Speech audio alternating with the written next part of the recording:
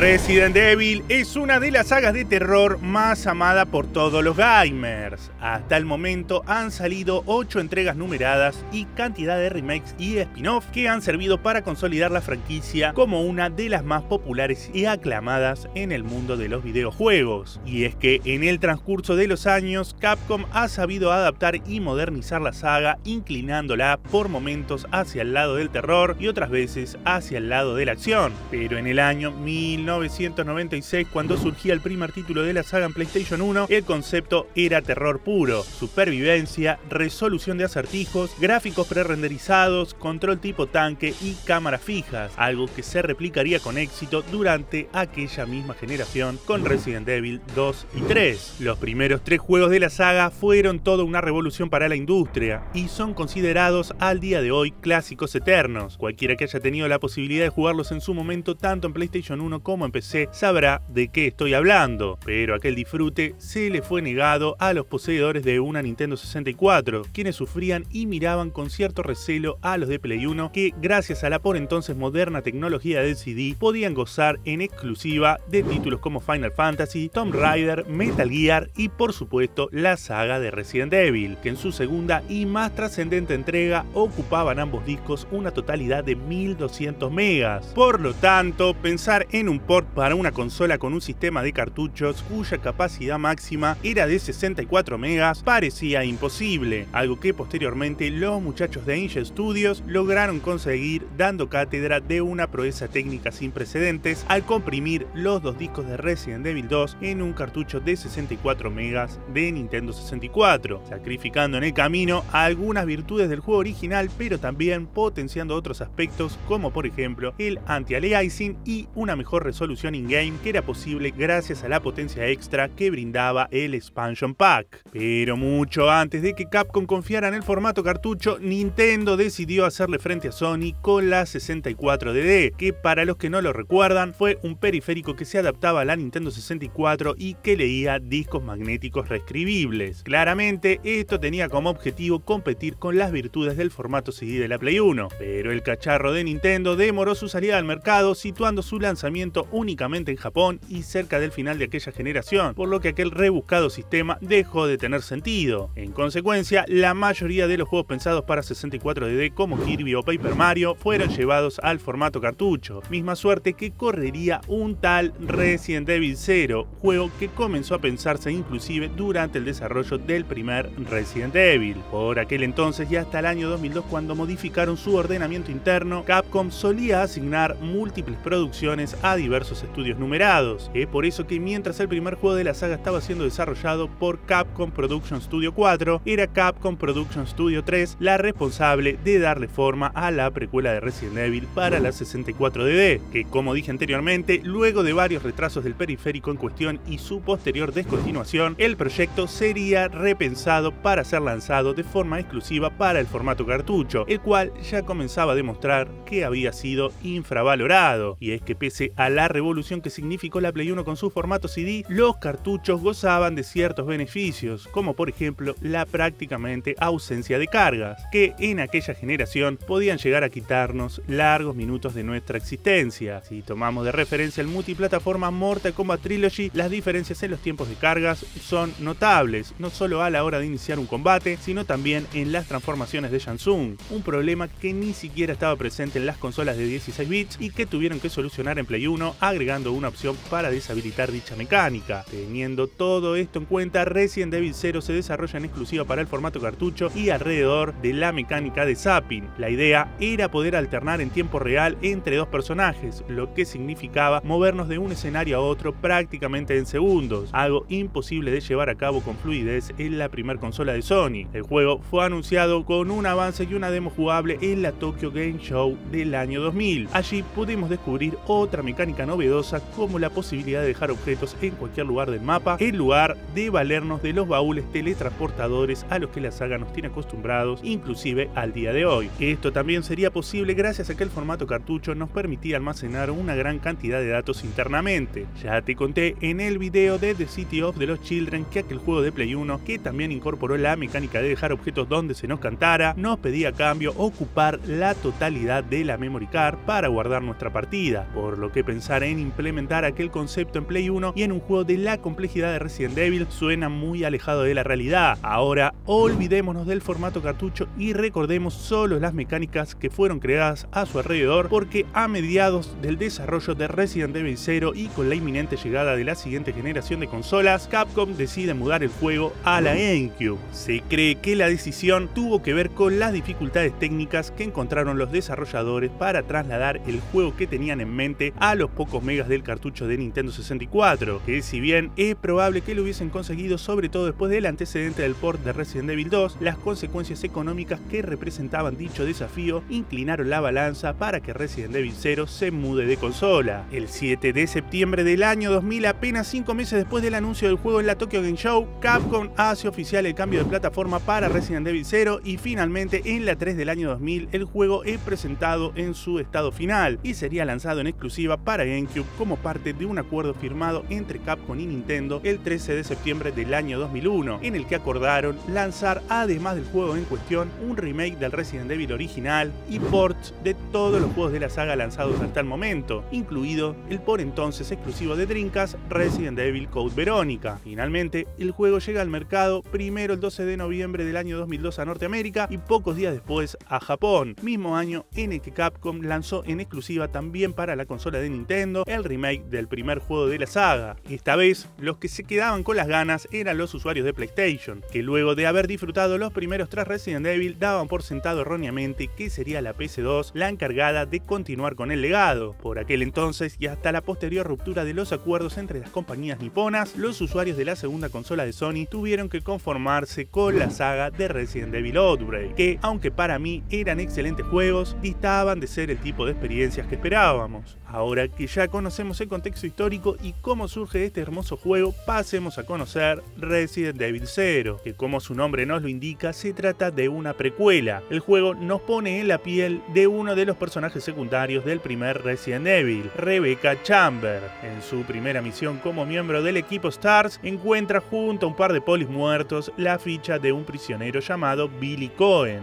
que a pesar de ser considerado el principal sospechoso de los asesinatos, Rebecca decide cooperar con él a fin de enfrentar un mal mayor, los zombies y una cantidad de monstruos que nos romperán las bolas durante todo el juego. De esta manera, este tal Billy se convierte en el otro protagonista y personaje jugable de Resident Evil 0, cuya historia gira alrededor de la creación del virus T y su creador, James Marcus. Hasta acá te hablo de la historia para no spoilearte nada y además en lo personal considero que es lo menos interesante que tiene la saga en general. Se está buscando que lo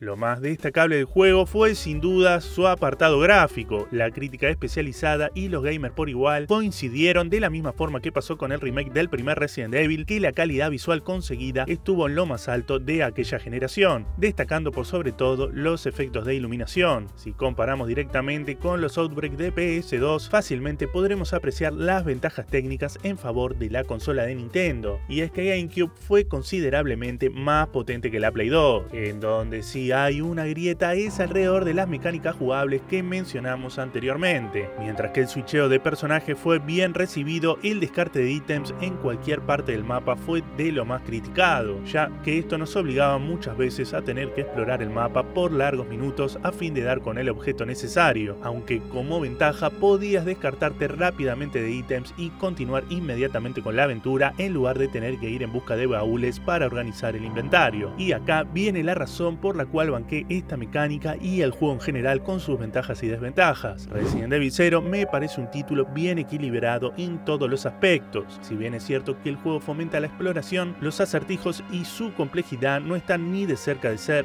los de otros juegos de la saga, por más que alguno que otro pueda darnos un pequeño dolor de cabeza como por ejemplo el de las estatuas de animales, son todos muy intuitivos, algo que no pasaba por ejemplo con el primer Resident Evil que por momentos nos pedía acciones fuera de toda lógica por lo que sí prestamos atención y tomamos nota del lugar donde depositemos los ítems más importantes del juego, el backtracking en Resident Evil 0 se reducirá al mínimo. Los detractores del juego muchas veces hacen hincapié en este aspecto y en el respawneo de enemigos, alegando que es un juego extremadamente difícil, cuando en realidad lo que sucede es que a medida que vamos avanzando, ciertos lugares vuelven a ser invadidos por enemigos que una vez eliminados desaparecen como de costumbre. Por lo tanto, no se trata de un respawneo como tal, y es de esta manera que el juego premia la atención que ponemos sobre los acertijos y la administración de los objetos claves del juego. Resident Evil 0 vendió 1.25 millones de copias, situándose de esta manera en el puesto número 28 de los juegos más vendidos de la GameCube. Fue además el último gran juego de su estilo, pues tiempo después, producto de otro acuerdo entre Capcom y Nintendo, llegaría también en exclusiva a GameCube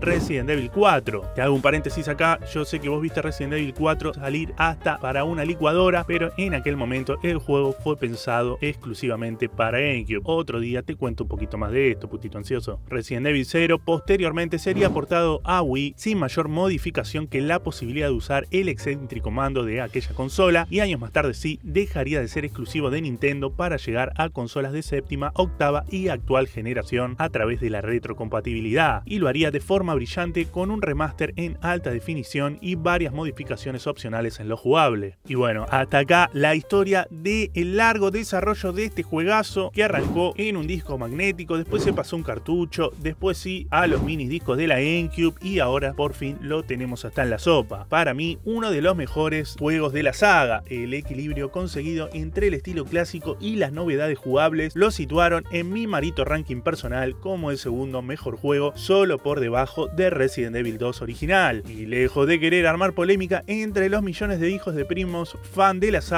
me gustaría que de alguna manera se reviva este estilo de juego que progresivamente fue desapareciendo en pos de adaptarse a los tiempos que corren. Pero como para sueños húmedos ya tengo bastante con pensar en tu mami, me tendré que conformar con esta última gran joyita del estilo, Resident Evil 0. Te quiero mucho.